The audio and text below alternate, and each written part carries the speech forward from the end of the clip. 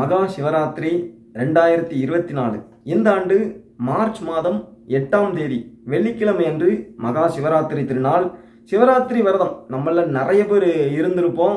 சிவராத்திரி விரதம் மற்ற விரதங்களைப் போல அல்ல. மற்ற விரதங்கள்லாம் பார்த்தீங்கன்னா ப- நாற்பத்தி ஒரு நாட்களாக இருக்கட்டும் ஆறு நாட்களாக இருக்கட்டும் அல்லது ஒரு நாள் விரதமாக இருந்தாலுமே நம்ம வந்து ஒரு ரெண்டு வேளை உணவை தவிர்த்து அல்லது ஒரு வேளை உணவை தவிர்த்து நம்ம வந்து விரதம் இருப்போம். இரவு நேரங்களில் நல்லா தூங்கிட்டு மறுநாள் அதே விரதத்தை அப்படியே தொடர்ச்சியாக செஞ்சுக்கிட்டு இருப்போம். சிவராத்திரியை பொறுத்த வரைக்கும் ஒரே நாள் விரதம். அந்த ஒரு நாள் விரதத்திலும் இரவு முழுவதும் கண் விழித்து இருக்க வேண்டும். அதுதான் ரொம்ப பெரிய விஷயம். அதே போல் அதிகாலை வரைக்கும் நான்கு கால பூஜைகள் எல்லாம் கடந்துக்கிட்டு காலையிலே தூங்கிடலாமா அப்படின்னு பார்த்தீங்கன்னா தூங்கக்கூடாதும்பாங்க. மதியம் வரைக்கும் அந்த விரதம் இருந்து எல்லாருமே சேர்ந்து அடுத்த நாள் சிவராத்திரிக்கு மறுநாள் வந்து ஒன்று சேர்ந்து சாப்பாடு பொங்கி சாப்பிட்டதுக்கு பிற்பாடு தான் அந்த மறுநாள் தான் தூங்கணும் அப்படின்னே சொல்லுவாங்க. ஏன் சிவராத்திரிக்கு மட்டும் ராத்திரி முழுக்க கண் விழித்து இருக்க வேண்டும்? அதுக்கு அதை பற்றி பேசுங்க அப்படின்னு இருந்தாங்க. நிறைய காரணங்கள் நம்மளுடைய முன்னோர்கள் சொல்கிறாங்க அதில் குறிப்பிட்ட காரணம் அப்படின்னு பார்த்தீங்கன்னா உலக உயிர்களையே அழிக்கக்கூடிய மிகப்பெரிய ஒரு விஷம் அப்படின்னு சொன்னால் ஆழகால விஷத்தை சொல்லுவாங்க. தேவர்கள் எல்லாம் பார்க்கடலை கடைந்தப்போ வெளிவந்த விஷம் இருக்கு இல்லையா? அந்த ஆழகால விஷம்தான் உலக உயிர்களையே அழிக்கக்கூடிய ஒரு மிகப்பெரிய கொடிய விஷம். அப்பேற்பட்ட விஷத்தை தேவர்கள் வந்து சிவபெருமான்கிட்ட கொண்டு கொடுக்குறாங்க. அப்போ அந்த விஷத்தை எடுத்து சிவபெருமான் பருகுகிறார். சிவபெருமான் அந்த விஷத்தை அருந்தி அந்த விஷத்தினுடைய விஷத்தன்மை சிவபெருமானுடைய உடல் முழுக்க பரவிடுச்சு அப்படின்னு சொன்னா சிவனே அழிந்து விடுவார்.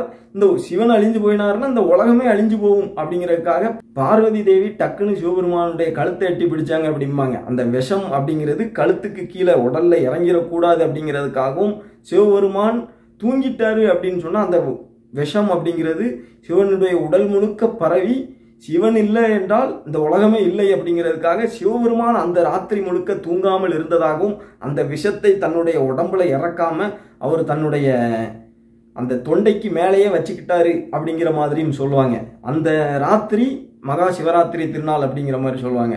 அதே போல பிரம்மதேவருக்கும் மகாவிஷ்ணுவுக்கும் ஒரு சர்ச்சை எழுந்ததாகும். அதாவது தங்களுக்குள் யார் உயர்ந்தவர் அப்படின்னு சொல்லி. அப்போ சிவபெருமானிடம் வந்து இந்த மாதிரி நீங்களே சொல்லுங்க அப்படின்னு கேட்கும் பொழுது சிவபெருமான் சொல்றாப்புல என்னுடைய அடியையும் முடியையும் யார் முதலில் காண்கிறார்களோ அவர்களே உங்களில் உயர்ந்தவர் அப்படின்னு சொல்லி. அடிமுடின்னு சொல்லக்கூடியது சிவபெருமானுடைய தலையையும் பாதத்தையும் சொல்லுவாங்க. அப்போ பிரம்மதேவர் வந்து அன்னப்பறவை ரூபத்துல நம்ம போய் தலையை பார்த்துட்டு வந்துடும் அப்படின்னு சொல்லி பறந்து பறந்து மேலே போறாரு. பறக்க பறக்க சிவபெருமான் அப்படியே வான் உயர உயர்ந்துகிட்டே இருக்கிறாப்புல.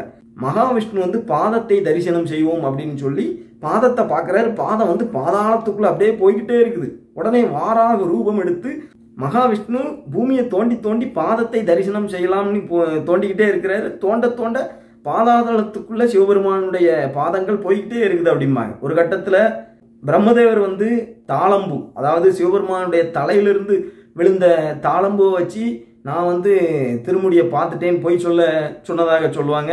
அதனால தான் பிரம்மதேவருக்கு பூலோகத்தில் கோவில்களே இல்லை அப்படிங்கிறது வரலாறு. அதே போல் மகாவிஷ்ணு பார்த்தீங்கன்னா ஒரு கட்டத்தில் சிவபெருமானுடைய திருவடியை வந்து பக்தியால் தான் நம்ம வந்து தரிசனம் செய்ய முடியும்.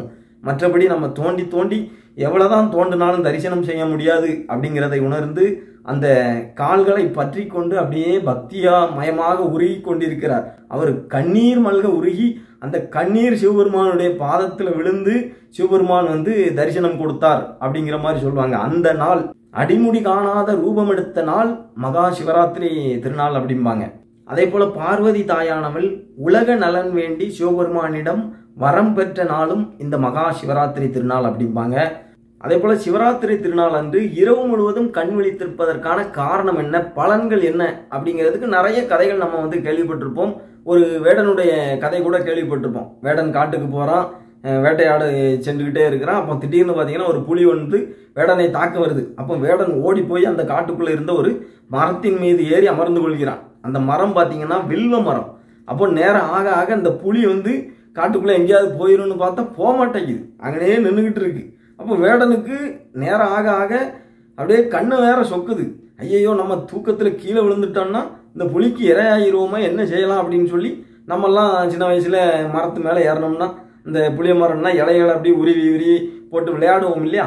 அதுவே போலவே இவன் தூங்காமல் இருக்கணும் அப்படிங்கிறதுக்காக இந்த வேடன் வந்து அந்த வில்வ மரத்தின் இலைகளை பறித்து பறித்து சும்மா அப்படியே கீழே போட்டுகிட்டே இருந்திருக்கான் அந்த வில்வ இலைகளை அங்கொன்றும் இங்கொன்றுமாக போடாம ஒரு குறிப்பிட்ட இடத்துக்குள்ளேயே அவனை அறியாமலே அப்படியே போட்டுக்கிட்டே இருந்திருக்கான் அந்த குறிப்பிட்ட இடத்துல பார்த்தீங்கன்னா ஒரு சிவலிங்கம் இருந்திருக்கிறது.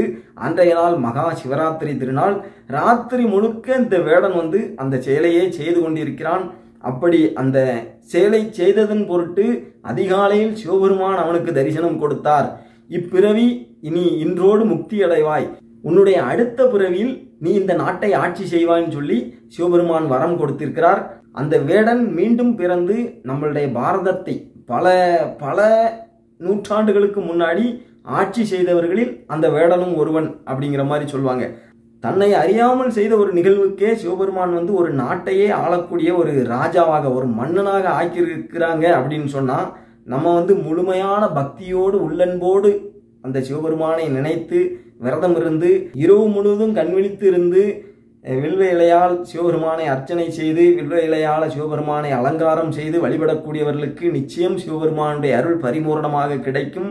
வேண்டுபவர்களுக்கு வேண்டிய வரங்களை சிவபெருமான் தக்க தருணத்தில் தருவார். ஏன் நான் நினச்சேன். நான் இந்த சிவராத்திரிக்கு இதை நினச்சேன். கிடைக்கலையப்பா. அப்படிலாம் ஒன்றும் இல்லை அப்போ அந்த மாதிரி நினைக்காதீங்க. வேண்டத்தக்கது அறியோ இனி வேண்ட முழுவதும் தருவோ இனின்னு திருவாசகத்தில் மாணிக்க வாசகர் அருமையாக பாடி வச்சிருக்கிறார். அதாவது நமக்கு என்ன வேணுங்கிறது நம்ம நான் நினைப்பேன். எனக்கு ஒரு கார் இருந்தால் நல்லா இருக்குமே. எனக்கு ஒரு பைக் இருந்தால் நல்லா இருக்குமே. எனக்கு ஒரு அரசாங்க வேலை இருந்தால் நல்லா இருக்குமே. அதுவும் இந்த மாதிரி வேலைன்னு சொல்லி. நம்ம நினைப்புறது ஒன்றா இருக்கும். ஆனால் கிடைக்கிறது ஒன்றா இருக்கும். அதனால் நான் நினச்சேன் கிடைக்கல அப்படின்னு நினைக்கக்கூடாது. நமக்கு என்ன தேவை அப்படிங்கிறது நம்மளை விட நம் இறைவனுக்கு நன்றாகவே தெரியும். அதனால் நம்ம இது நினைச்சேன் ஆனா இது நடந்தது அப்படின்னு நினைக்காதீங்க. நமக்கு அதுதான் தேவையானதாக இருக்கும். நம்மளை விட தெய்வங்களுக்கு நம் தேவை என்ன அப்படிங்கிறது ரொம்பவே நல்லா தெரியும். அதனால வேண்டத்தக்கது எல்லாமே இறைவன் அறிவான். அவனை நினைச்சு நம்ம வந்து முழுமையாக விரதம் இருந்தாலே போதும். வேற ஒரு வேண்டுதல் வைக்க வேண்டாம். இப்போ நம்ம எல்லாம் ஆன்மீகத்தில் தெளிவடைய தெளிவடைய இப்போ நம்ம வந்து எதையுமே வேண்டுறது கிடையாது. யாராவது ஏதாவது எனக்காக வேண்டிக்கங்க அப்படின்னு சொன்னால் கண்டிப்பாக இந்த மாதிரி சொன்னாங்க இறைவா அது என்ன பார்த்து செய்யுங்கப்பான்னு சொல்லி வேண்டிக்கிடுறது தவிர நமக்கு அவனுக்கு தெரியாததா நம்ம போய் புதுசாக இறைவனுக்கு சொல்லி கொடுக்கோம் ஐயா வீட்டில் காய்ச்சல் தலைவலி கஷ்டம் இங்கே வேலையில் குடைச்சல் இதெல்லாம் இறைவனுக்கு தெரியாததா? நம்ம கூடவே இருக்கக்கூடிய இறைவன் அனைத்தையும் அறியக்கூடியவர். அதனால் முழு மனதோடு மனதிருப்தியோடு விரதம் இருந்தால் நிச்சயம் நம் தேவையறிந்து இறைவன் அருள் புரிவார்.